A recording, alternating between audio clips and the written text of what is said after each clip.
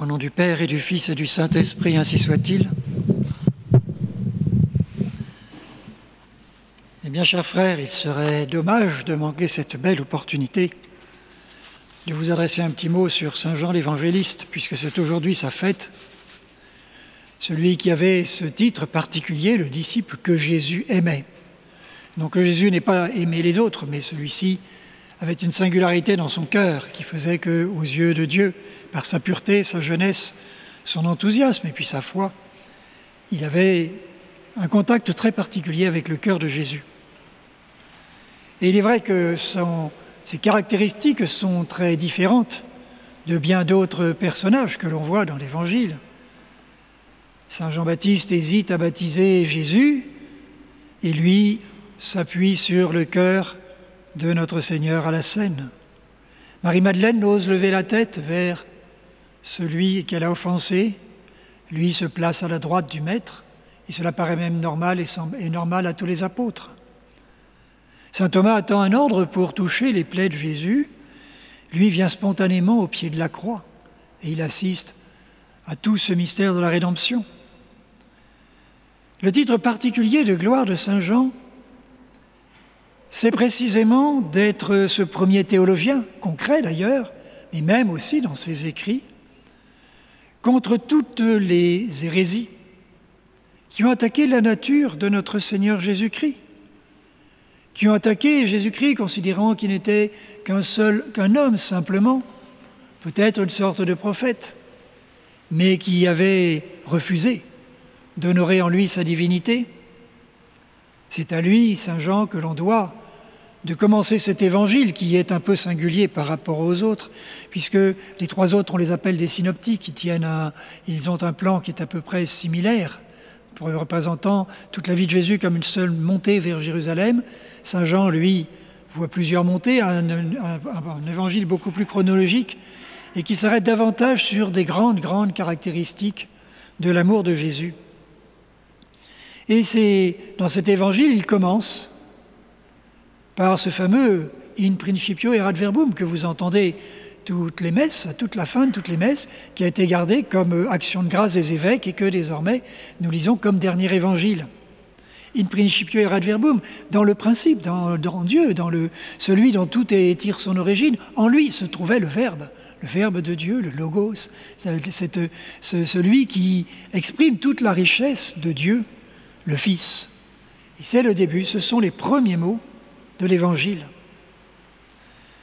Et ces épîtres, ces épîtres tout autant font œuvre d'un enseignement tout à fait singulier. Sont d'une densité tout à fait unique. En, quelques lignes, il nous conduit à l'essentiel de la lumière de la vie divine en nous. À l'époque, si les apôtres chipotaient encore à la fin de la vie de notre Seigneur sur celui qui serait à sa droite, enfin qui serait son premier ministre, Saint Jean, lui, s'est élevé très haut, très haut dans la foi. Et il commence sa première épître, il a fait trois épîtres qu'on appelle, parmi les épîtres, il y a les épîtres de Saint Paul et les autres qu'on appelle les épîtres catholiques parce qu'elles sont adressées à tout l'univers chrétien et non pas au départ à une chrétienté ciblée comme le faisait Saint Paul. Et donc parmi ces épîtres catholiques, la première de Saint Jean commence ainsi. Ce qui était au commencement, ce que nous avons entendu, ce que nous avons vu de nos yeux, ce que nous avons contemplé et que nos mains ont touché, concernant le Verbe de vie, nous vous l'annonçons. Nous avons déjà cette progression. Nous avons entendu, nous avons vu, nous avons contemplé, et nous avons été tellement proches que nous l'avons touché. Il était là, le Verbe de vie, le Verbe de Dieu. Et il explique ensuite, car la vie, telle qu'elle est en Dieu, bien sûr, et telle qu'elle nous est révélée puis communiquée, car la vie a été manifestée, et nous l'avons vue, et nous en rendons témoignage et nous annonçons la vie éternelle qui était auprès du Père et qui nous est apparue. Nous l'annonçons, nous avons vu cette vie, est proche de nous. Et nous pouvons témoigner de cela. Voilà le premier témoignage de Jean dans ses épîtres. Ce que nous avons vu et entendu, il réitère encore pour bien dire que pour lui, c'est un vrai témoignage qu'il rend de quelque chose qui est direct. Nous vous l'annonçons afin que vous aussi, vous soyez en communion avec nous et en communion, et notre communion soit avec le Père avec son Fils Jésus-Christ. Donc son but, c'est de créer cette communion avec Dieu. S'il nous annonce ce qu'il a vu, ce qu'il a touché, ce, qui est immédiat, qui touche à la vie éternelle, c'est pour qu'il y ait cette communion avec Dieu. Et il veut la faire participer. Lui, il a eu cette communion en reposant sur le cœur de Jésus lors de la dernière scène, mais il veut vous la communiquer. Quelle gradation merveilleuse, quel enseignement d'une richesse profonde. En somme, il conduit directement, mais directement à la substance de la foi. Il ne s'en éloigne pas du tout. Et nous avons contemplé, nous attestons que le Père nous a envoyé le Fils comme Sauveur du monde, et celui qui confessera que Jésus est le Fils de Dieu, Dieu demeure en lui, et lui demeure en Dieu. Voilà, vous voyez, cette, il faut d'abord cette confession, cette certitude pour que s'établisse ce rapport très intime, de connaissance intime avec le Verbe de Dieu. il va plus loin. Il va plus loin, c'est le premier témoignage, bien sûr. Dieu s'est incarné, c'était vraiment Dieu, et nous avons une communion qui se prépare avec lui. Mais il va plus loin parce qu'il en donne la raison. Il en donne la raison, il nous découvre la réalité de ce Dieu qui se livre car il est amour. Et là, je vous fais sauter immédiatement jusqu'au chapitre 4 de cette première épître. Et nous, nous avons connu l'amour que Dieu a pour nous. Credidimus caritati. Ces deux petits mots-là, d'ailleurs, vous les retrouvez. Ce ne sont, vous pas étrangers. Si vous avez déjà regardé des photos de Monseigneur Lefebvre et puis ses armes, ses armes épiscopales, elle portait en bandeau sa devise, Credidimus caritati. Ces deux mots de Saint Jean. Et nous, nous avons cru à la charité. Nous avons cru à l'amour que Dieu a eu pour nous. Dieu est amour, et celui qui demeure dans l'amour demeure en Dieu et Dieu en lui. Voilà ce qui est pour nous une merveille, une découverte. Ce que les anciens n'avaient pas connu, ce que même l'Ancien Testament avait à peine effleuré, oh bien sûr Dieu l'avait dit, mais il avait été obligé de le dire en luttant tellement et en châtiant tellement fréquemment. Ce peuple qui ne voulait pas de lui, que parfois ce témoignage d'amour s'estompe un peu. Et là, ça devient le cœur. Le cœur du christianisme, Dieu est amour. Et l'amour de Dieu s'est manifesté parmi nous en ceci, c'est que Dieu a envoyé son Fils, son Fils unique dans le monde, afin que nous, nous vivions par lui. Vous avez là, en une phrase, la totalité de votre raison d'être, la totalité de la crèche, la totalité de votre foi, la totalité de votre présence ici ce soir, Dieu a envoyé son Fils unique dans le monde afin que nous vivions par lui. Tout est dit, parce qu'il est amour. Et il développe. L'amour consiste en ce que ce n'est pas nous qui avons aimé Dieu les premiers, mais que c'est lui qui nous a aimés le premier. C'est lui qui a envoyé son Fils, qui nous a envoyé comme une propitiation pour nos péchés. Et là encore, quelle merveille Il est venu apporter une solution à nos péchés. Il voulait rendre Dieu propice, il voulait expier nos péchés. Il a été envoyé comme propitiation pour nos péchés. Et là aussi, en une phrase, Saint Jean voit promener tout le modernisme. Je dirais toute l'ecclésiologie moderne, où il n'y a plus de péché, il n'y a que des erreurs, il n'y a plus de propitiation, il n'y a qu'une manifestation de l'amour. Et là, Saint Jean, dès le départ, ce grand théologien, le premier théologien de notre Seigneur Jésus-Christ, qui nous annonce qu'il est le Verbe de Dieu, qui était dans le principe, qu'il s'est incarné par amour, que Dieu est amour, et qu'il est venu s'incarnant, parce que c'est lui le premier qui a pris l'initiative, en étant propitiation pour nos péchés.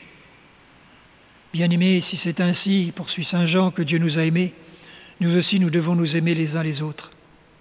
Personne n'a jamais vu Dieu. Si nous nous aimons les uns les autres, Dieu demeure en nous et son amour est parfait en nous. Bien-aimés, aimons-nous les uns les autres, car l'amour est de Dieu, et tout homme qui aime est né de Dieu et connaît Dieu.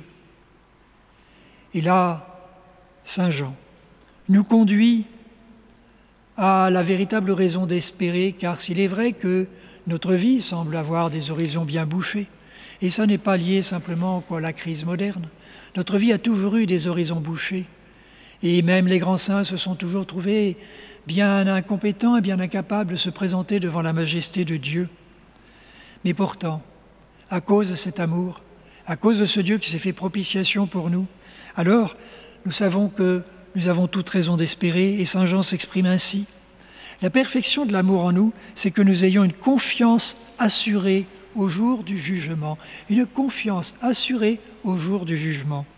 Car tel est Jésus-Christ, tels nous sommes aussi dans ce monde. Il n'y a pas de crainte dans l'amour, mais l'amour parfait bannit la crainte, car la crainte suppose un châtiment, mais celui qui craint n'est pas parfait dans l'amour. Nous donc aimons Dieu puisque Dieu nous a aimés le premier. Voilà cet enseignement. Vous comprenez que cet apôtre unique, reposant sur le cœur de Jésus, attire d'elle, s'élève immédiatement sur les sommets de la contemplation, sur les sommets de la raison d'être de toute chose. Il pénètre dans la sagesse éternelle de Dieu et nous la livre. Oui, en Dieu, en Jésus se trouvent tous les trésors de la science et de l'amour.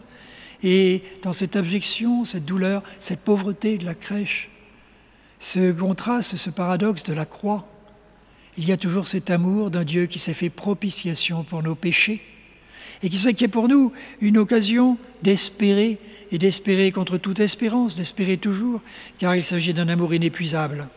Seul Jésus est le véritable ami. Les autres amitiés, elles disparaîtront. Les espérances de la terre, elles sont vaines. La foi en nous-mêmes, elle s'effondre. Il ne restera qu'une seule amitié. C'est l'expression même du bienheureux Claude de la Colombière, qui était le confesseur de Sainte Marguerite Marie, la confidente du Sacré-Cœur. Jésus, vous êtes le seul véritable ami. Aucune disgrâce, aucune peine ne doit nous en séparer. Voilà cet apôtre. Alors on comprend que même lui qui est l'apôtre de l'Apocalypse, celui qui a écrit l'Apocalypse, le dernier livre de la Bible, à Patmos alors qu'il était en exil et qu'il était arrivé à la fin de sa vie parce qu'il vécut très âgé. On comprend que cet Apocalypse même est déjà une sorte de prévision de la gloire de Dieu et que dans cette lutte fantastique, on aperçoit que tout reste soumis à cet amour de Dieu qui nous a aimés le premier et qui, à travers les épreuves des justes, prévoit de les obliger à répondre à l'amour par l'amour, car Jésus s'est fait propitiation pour nos péchés. Et c'est pour ça que Saint Jean, qu'on accusait de tourner en rond, de répéter souvent les mêmes choses, tellement il était saisi par l'essentiel du message de notre Seigneur Jésus-Christ, répétait sans arrêt Aimez-vous les uns les autres, car il n'y a pas plus de plus beau témoignage que nous aimons Dieu. Et il le répétait sans arrêt.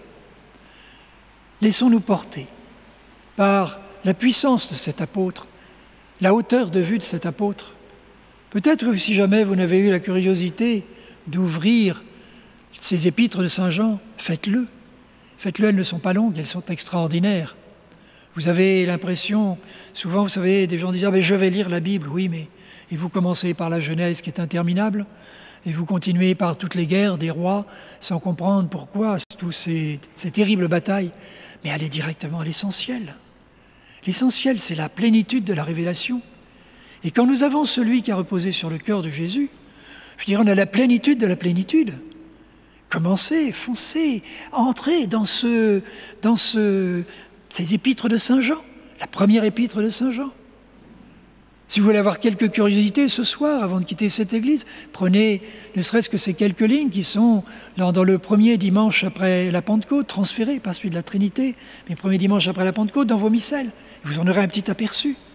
Ayez cette curiosité toute mystique, cette curiosité qui conduira votre âme à tire d'elle au cœur même de l'Évangile.